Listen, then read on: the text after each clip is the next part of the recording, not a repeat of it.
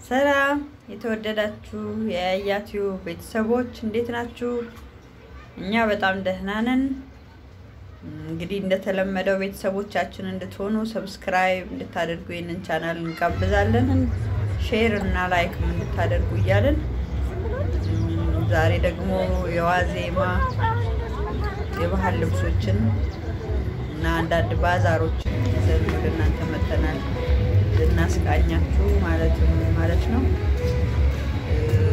የተለያዩ ቦታዎች አሉ ባዛሮች፣ የባህል ልብስ፣ የባህል እቃዎች፣ በእጅ የሚሰሩ print የሚደረጉ የተለያዩ አደይ አበባ በተመለከተ የሚሰሩ ነገሮች ማለት ነው።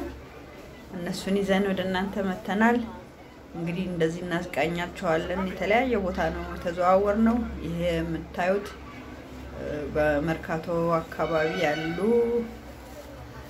ልብሶች ናቸው።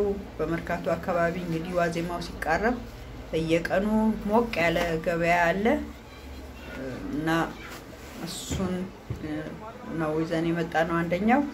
ሌላው ደግሞ በየሰፈሩ በድንኳን ያለ ባዛሮች አሉ። እነሱንም ይዘን መተናል። የተለያዩ ቦታዎች እኛ ግን ለዛሬ ሜክሲኮ አካባቢ ያለ ባዛር ነው ይዘን የመጣነው። ይህ ደግሞ ሜክሲኮ አካባቢ ነው። እንግዲህ ቀለል ባለ ዋጋና ቀለል ባለ አሰራሮች የተሰሩ ነገር ግን መቶ percent የሀገራችን ምርት የሆኑ ነገሮች ይዘን ነው በዚህ አካባቢ የቀረቡት እና ይሄንን ይመስላል። ለልጆች አለ፣ ለአዋቂ አለ፣ የትራስ ልብሶች አሉ፣ የአልጋ ልብሶች አሉ። ሶፋ ላይ ደግሞ የሚደረጉ አንዳንድ ነገሮች አሉ። እንደገና በእጅ የሚሰሩ ጌጣጌጦችም አሉ። የቤት ጌጣ ማስዋቢያዎች ማለት ነው።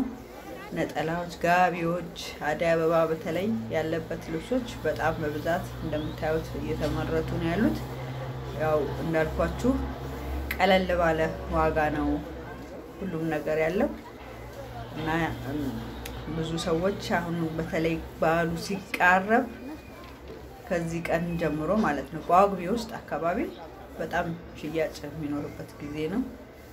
ያው በብዛት በውድ የሆኑ ነገሮች ሳይሆኑ ገበያ ላይ የቀረቡ ግን ሬድሜድ ሆነው የቀረቡ ነገሮች የሚሸጡበት ጊዜ ነው። ያው አብዛኞቻችን ኢትዮጵያውያን እናውቃለን። ምናልባት ከኢትዮጵያ ውጭ ለምትኖሩ ደግሞ ሀገራችሁ እንደዚህ እናስቃኛችሁ ብለን ነው ዛሬ ወደ እናንተ የመጣ ነው ወገኖቻችን። ሀገራችን እንግዲህ ይህን ይህን የመሳሰለ ነገር እዚሁ ተመርቶ እዚሁ ተሰፍቶ እዚሁ ተጠልፎ ጥልፉም ሁሉ ነገር በኢትዮጵያውያን የተሰሩ ነገሮች ነው። አሁን በአጠቃላይ ማሳየት የያዝ ነው። የተዋቡና ያማሩ ብዙ ነገሮች እንዳሉ ነው ያየነው ወገኖቻችን። እንግዲህ ወደዛ ብቅ ማለት የምትችሉ ብቅ ብላችሁ የምትፈልጉትን ነገር እንድታገኙ ማስታወቂያም እየሰራንላችሁ ነው እንግዲህ የምንገኘው። የያያትዩ ቤተሰቦች እንግዲህ እንደተለመደው ይህንን ቻናል እንድታበረታቱ share እንድታደርጉ like እና subscribe በድጋሚ እያልን የሚያስፈልግ ነገር ካለ እንድንጠቁማችሁ በ comment ላይ ጻፉልን። አስተያየትም ካላችሁ comment እንድታደርጉ እንጋብዛለን። መልካም አዲስ ዓመት ይሆንላችሁ። ቻው